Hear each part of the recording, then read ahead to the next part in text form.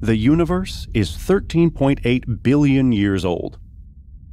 Imagine this stretch of time as being equivalent to the length of a football field. On it, every step you take is equivalent to about 50 million years. Where do you think the entire span of human history fits in? Right at the end, about the width of a single human hair we humans tend to feel like we're important. In reality, we occupy a humble corner of an unassuming galaxy in a completely average stretch of space and time. Lucky for you, this blink takes you on a trip far beyond the rock we call home. As we fly through the astrophysical classic Welcome to the Universe, written by preeminent astronomers Neil deGrasse Tyson, Michael A. Strauss, and J. Richard Gott, we'll be visiting stars, galaxies, black holes, and even do a bit of time traveling. So, if you're ready, strap in and get ready for liftoff. Okay, first stop lower Earth orbit.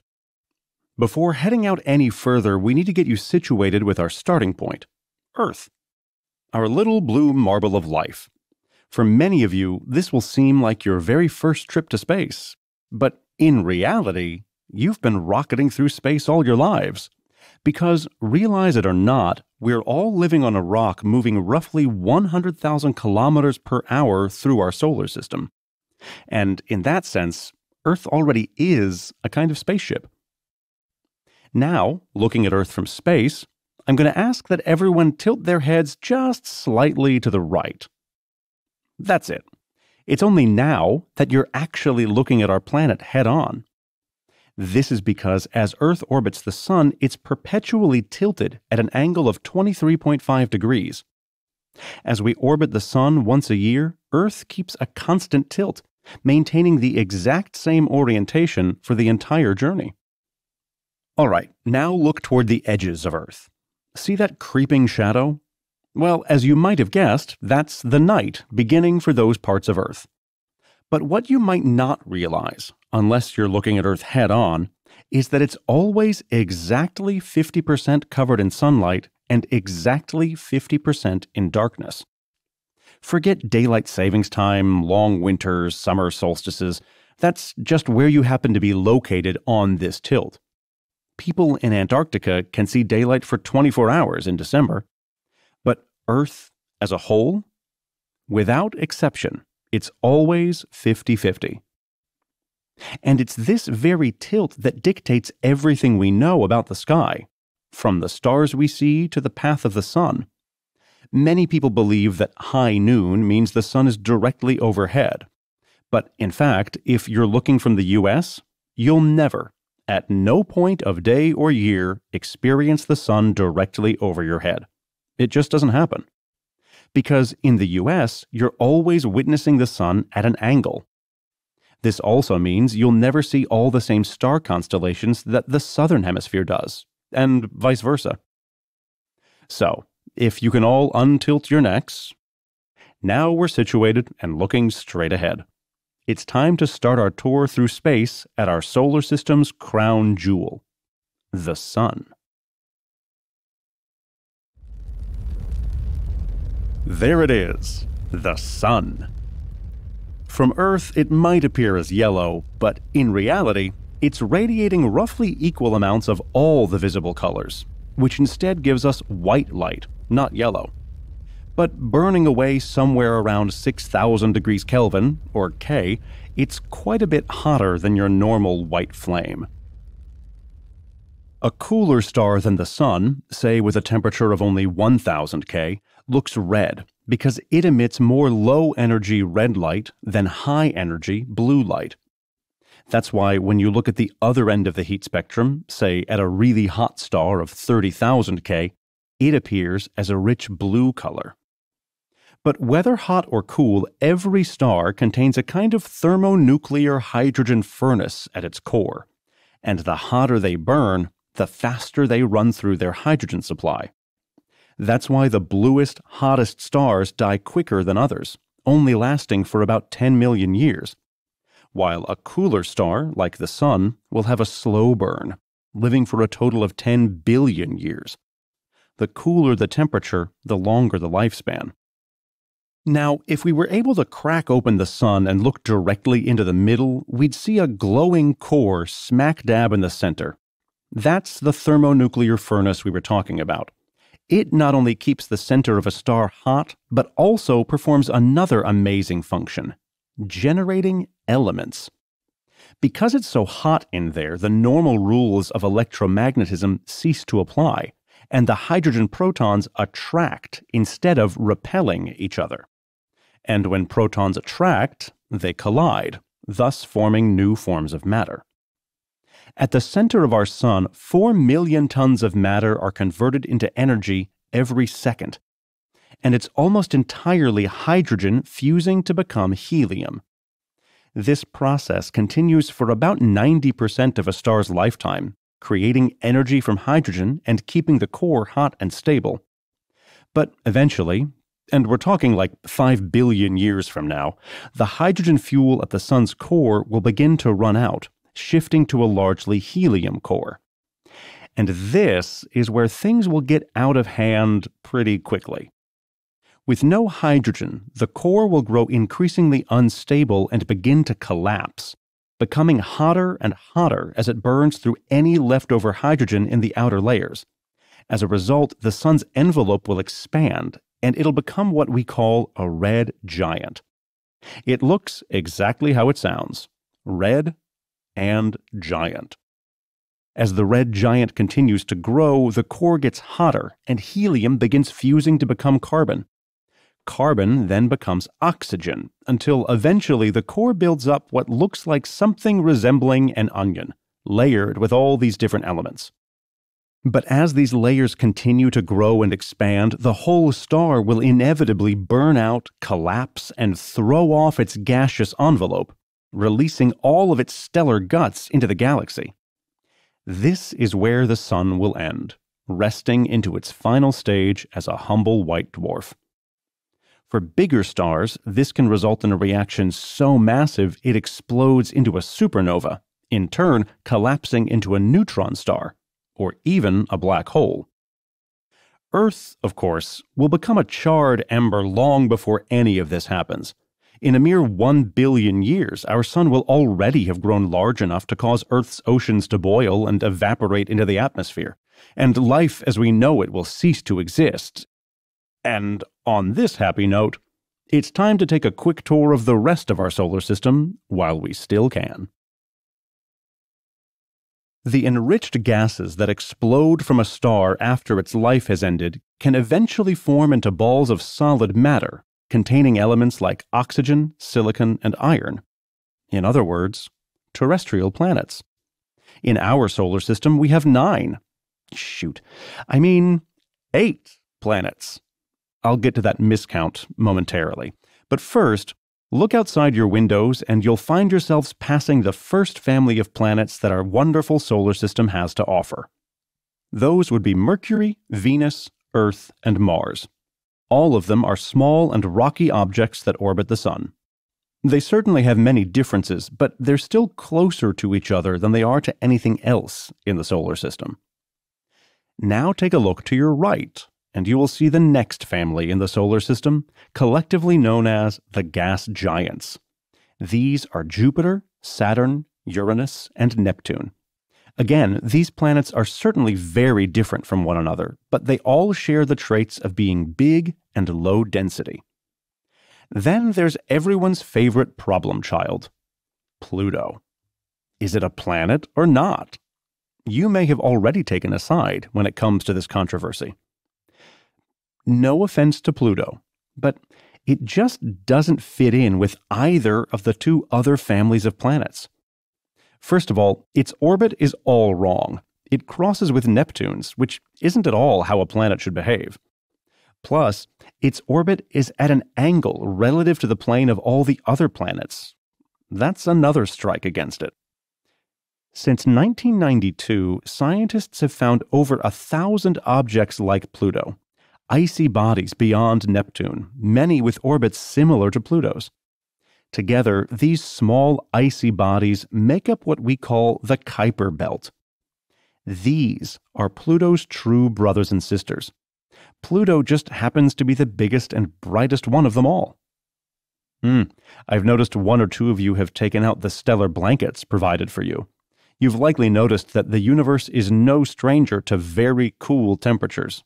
As a whole, the universe has a temperature left over from the Big Bang, when all the matter in the universe was condensed and then rapidly expanded.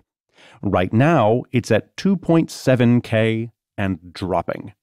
The data shows that the universe is going to keep expanding, steadily approaching 0K, or absolute zero.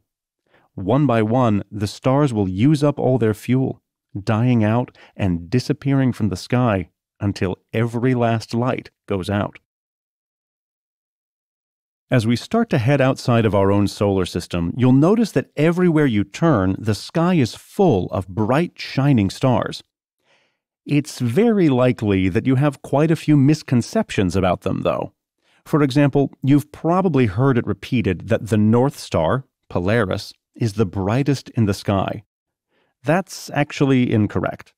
In fact, Polaris isn't even in the top 10, or 20, or 30 brightest stars. It comes in at a lowly 45th place. The brightest is actually Sirius, otherwise known as the Dog Star. And as we start to speed up, this might be a good time to wrap our heads around distances. Take our Sun, for example. Even though the Sun is close to Earth, it's not exactly close.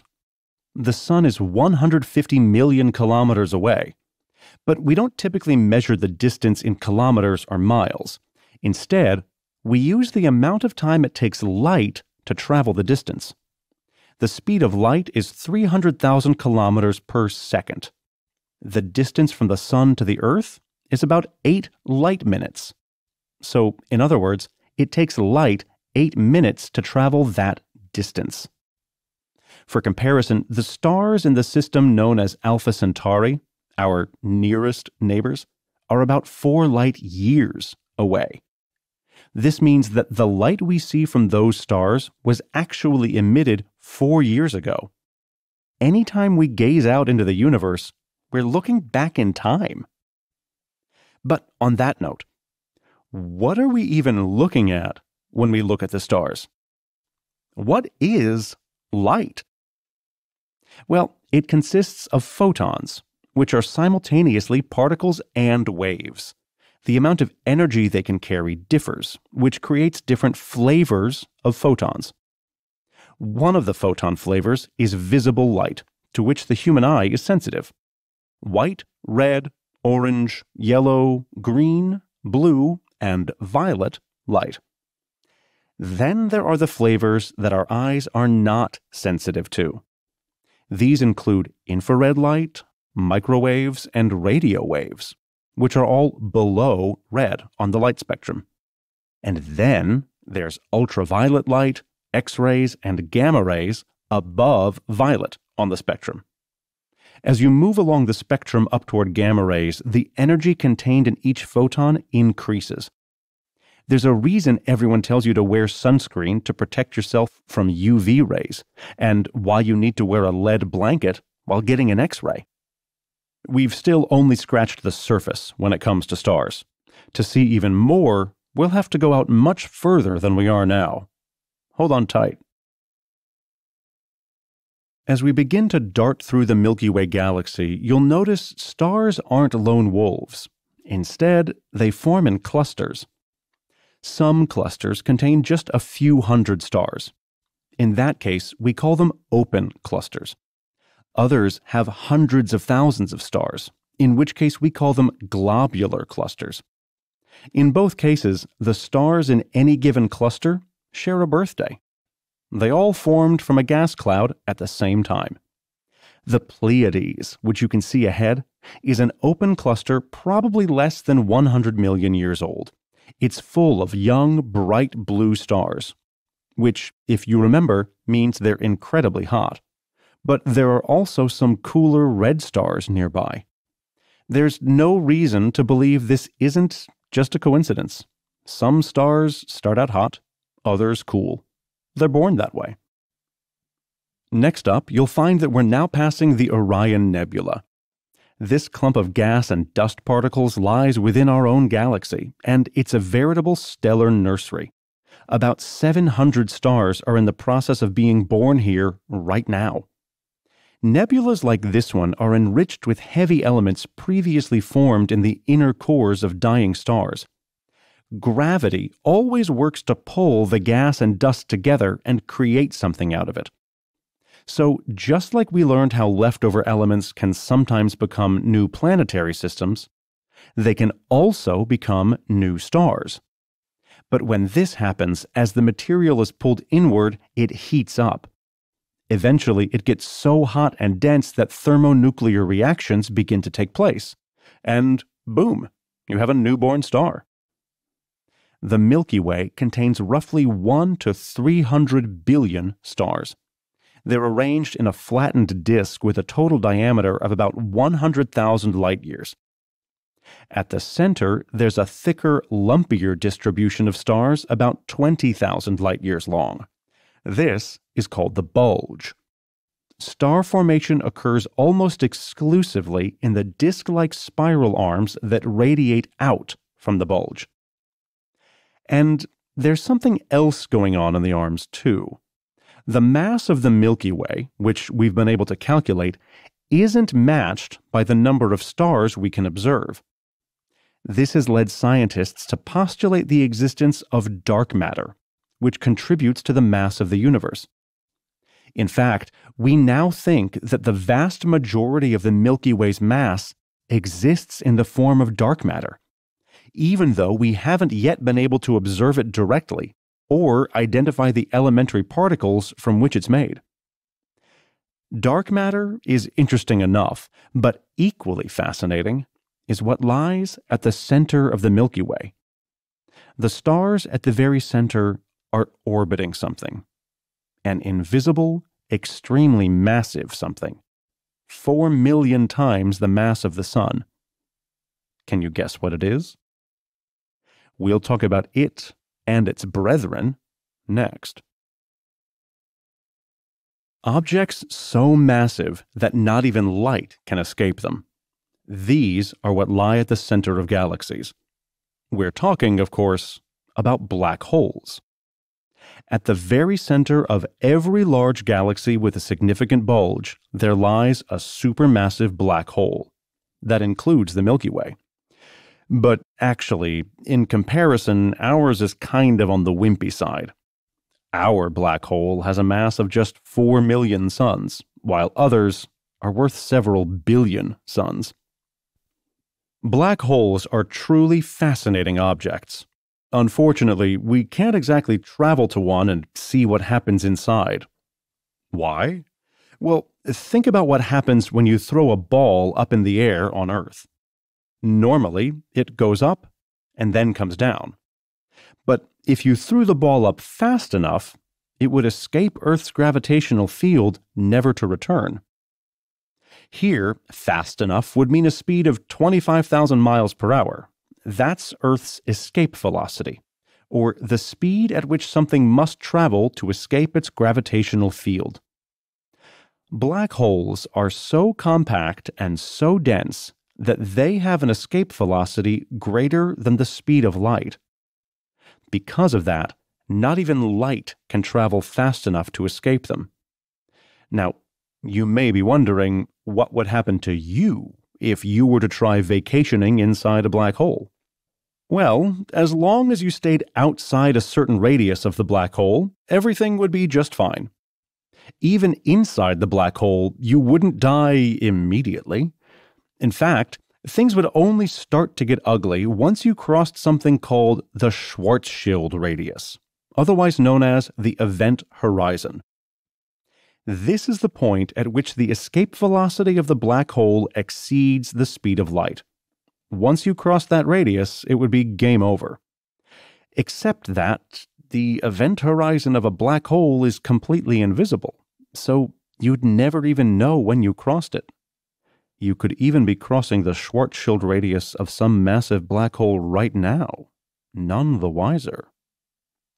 After crossing the Schwarzschild radius, as you traveled further and further into the black hole, your body would begin to get stretched. If you were falling feet first, your feet would be pulled downward by the mass at the center of the black hole. Meanwhile, your left and right shoulders would be drawn inward toward the center. You'd slowly be crushed from both sides while being stretched, like getting turned into a piece of spaghetti. And what do you know? The real technical term for this process is spaghettification. And no, I'm not kidding. Fortunately, death by spaghettification is pretty quick, taking just 0.09 seconds in a 3 billion solar mass black hole. But we can never actually observe this process happening directly. No outside observer can witness anything that occurs beyond the event horizon of a black hole, in the same way that you can't see past the horizon from anywhere you stand here on Earth. If you recall, we dipped our toes into the topic of the Big Bang earlier on our tour. We briefly discussed the explosion of matter that resulted in the universe we know today, a universe that will die when all its energy has been used up. The Big Bang model makes several predictions. As scientists, we compare those predictions with what we observe. The results we find show us how accurate the predictions are. And so far, the Big Bang model has passed every test we've thrown at it. One such prediction is that the universe should be expanding, and that's exactly what it's doing. In a way, the universe is like a loaf of raisin bread. The galaxies are like the raisins, while the dough is the space between them. The dough starts at the Big Bang in a highly compressed state, with all the raisins close together. As the dough expands in the oven, the raisins move farther and farther away from one another. From each individual raisin's perspective, all the other raisins are receding away from it. Similarly, from our vantage point in the Milky Way, all other galaxies appear to be moving away from us, even though in reality we're also moving. Furthermore, more distant raisins, or galaxies, appear to be receding twice as fast as the closer raisins, because there's twice as much expanding dough in between. This analogy isn't perfect, because a loaf of raisin bread isn't infinite and has edges, unlike the universe. But, just as in the raisin bread, the raisins themselves, meaning the galaxies, aren't expanding. Only the space in between them is. But if the universe isn't shaped like a loaf of bread, what is its shape? The key to this question lies in understanding how many dimensions the universe has. The answer is four. That's because you need four coordinates in order to pinpoint any event three dimensions of space and one dimension of time.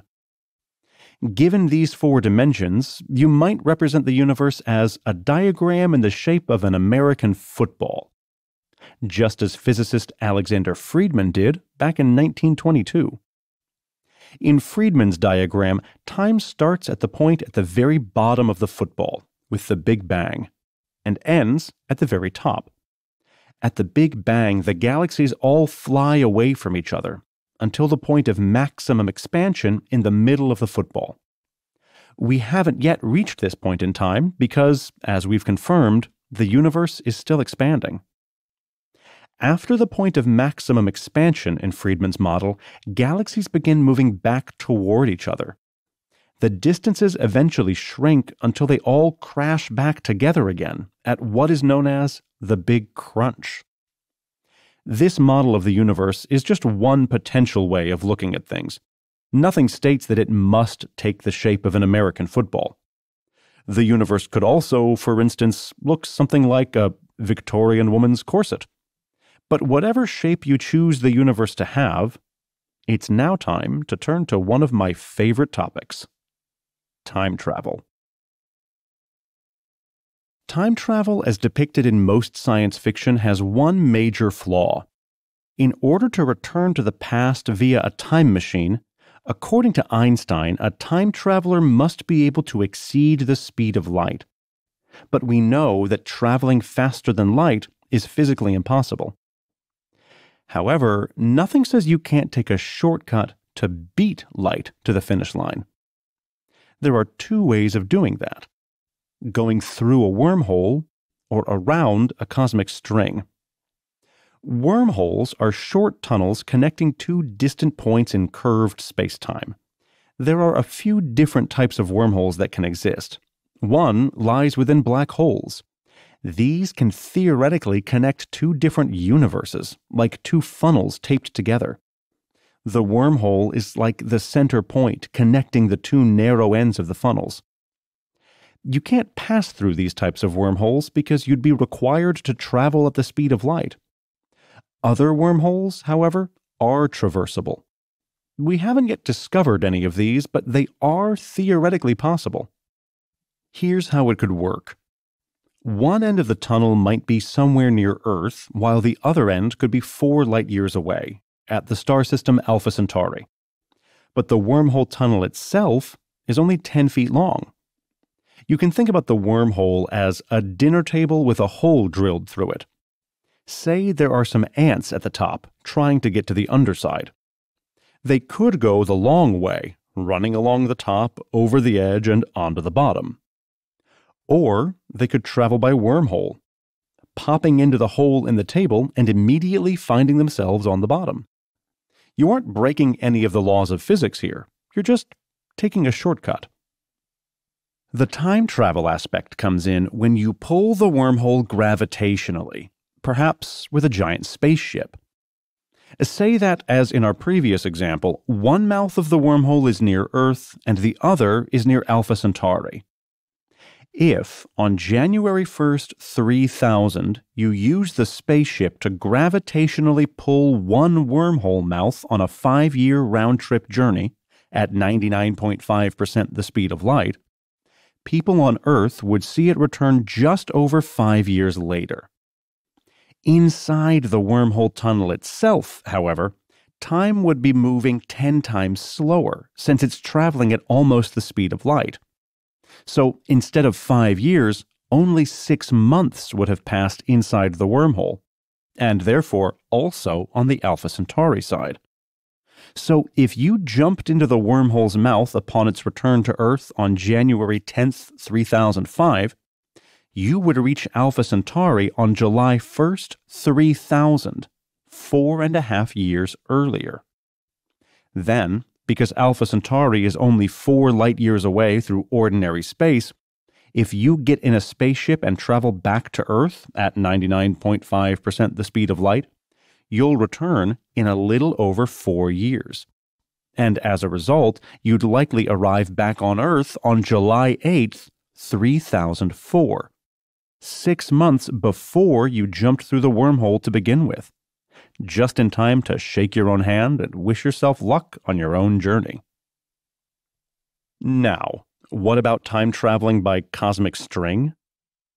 A cosmic string is an extremely thin thread, thinner than an atomic nucleus, that is highly energy dense. These strings have no ends and are made up of energy left over from the early universe. They can either be infinite in extent or occur in closed loops, like strands of spaghetti and spaghettios. But these cosmic strings are no small fries. They're expected to be extremely massive, about a million billion tons per centimeter. Theoretically, a person could also use the warping of spacetime caused by strings in order to time travel. But this could only happen if two strings got close enough for you to circle them. If the strings were far apart, it would take too long to circle them, too long to get back to your own past. In practice, you're very unlikely to get so lucky as to come across two cosmic strings passing each other in such a way as to make a time machine. Fleshing out all these complicated theories about time travel requires much more information about quantum mechanics. Most importantly, we must marry general relativity and quantum mechanics such that we can understand whether it really is possible to construct a time machine and visit the past. Perhaps some laws of physics we discover one day will teach us it's impossible. But for now, the door, or perhaps the wormhole, is still open. We've been exploring the universe for a while now. How's everyone feeling? By this point, you have a solid grasp of the physical material that makes up the universe, as well as some more theoretical concepts. But we've saved the best for last the question of whether there is intelligent life in the universe aside from humanity. Life as we know it requires a few things in order to exist. Number one on the list is liquid water. If your planet is too close to a star like the Sun, the water evaporates. Too far away, and it freezes. Of course, the situation is far more complicated than that. Different stars have different luminosities, which means they have habitable zones of different sizes. And based on everything we know, you need a planet orbiting a star in order to have life. You also need enough time time for the star to be created, then the planet, and then billions of years for life to have a chance to evolve. That means the star has to be long lived. The most massive stars only live for about 10 million years, which makes life near one of those pretty hopeless. That's already quite a few requirements, but there are a lot more. That's especially true if we're talking about life with which we might be able to converse, intelligent life. Even that, though, isn't enough. You also need that intelligent life form to be able to send signals across incredibly long distances in space, and for us to have caught the life form at the right moment in its history. If an intelligent life form is even just 1,000 light years away, it had to have been transmitting signals across space a thousand years ago in order for its signals to be reaching us now. We could go on, but perhaps it's better, for the last stop on this journey, to take you to one of our most promising candidates where there could be life. That candidate is called Kepler 62e.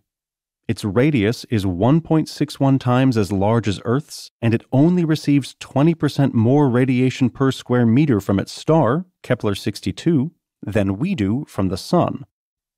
That makes it pretty likely to lie in a habitable zone. Kepler 62e could either be rocky or icy with an ocean. We aren't really sure. That's a concrete example. Now let's think about the question numerically.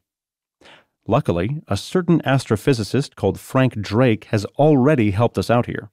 He came up with something we now know as the Drake equation, which helps us estimate the number of potentially life supporting planets in our galaxy. The Drake equation looks into the fraction of suitable stars with a planet in the habitable zone. So, Consider a spherical region of space with a radius of 40 light years. Within that sphere, you'll have something like a thousand stars. Using the Drake equation under our specific parameters, you'll likely find an average of six habitable planets within this radius alone. And remember, 40 light years is tiny in comparison to the expanse of the entire galaxy, not to mention the entire universe. The next part of the equation involves calculating the number of planets that have developed a technology capable of communicating across interstellar distances, and which are communicating during the epoch at which we're observing them now. The chance of catching a planet during that specific phase at a random time is equivalent to the average longevity of radio transmitting civilizations divided by the age of the galaxy. And that's where things get complicated, because we only have one example of an intelligent civilization our own. One estimate suggests that the average lifespan of a radio transmitting civilization is likely to be 12,000 years, though, of course, there are other possibilities. Plug the numbers into the Drake equation, and voila, you're left with an estimated number of communicating civilizations. There are many different interpretations out there on exactly what measurements are best to plug into the Drake equation, but for fun, the authors of this book threw in their best estimates and found that there could be up to a hundred civilizations in the Milky Way galaxy capable of communicating with radio waves currently. However, as of right now, we haven't found any of these, and it doesn't seem like they've found us. All that remains is to keep on searching. You've just listened to our blink to Welcome to the Universe by Neil deGrasse Tyson, Michael A. Strauss, and J. Richard Gott. The key message in this blink is the universe is so much bigger, hotter, denser, and weirder than we typically realize. It can be easy to convince ourselves that Earth is somehow special, but in reality, we and our planet occupy a corner of space that's not much different from any other. Stars, planets, galaxies, black holes, wormholes. These are just a few of the things that exist, or may exist, in the vast expanse of the universe. And as we grow along with our universe, we continue to discover new things about space, time, and our very existence every day. All right. Thanks for joining us on this whirlwind trip through the universe. We always appreciate your feedback. See you in the next blink. Well, before you leave, don't forget to subscribe to Books in Blinks and leave your thoughts in the comments section below. Also, check out the other titles in our playlist.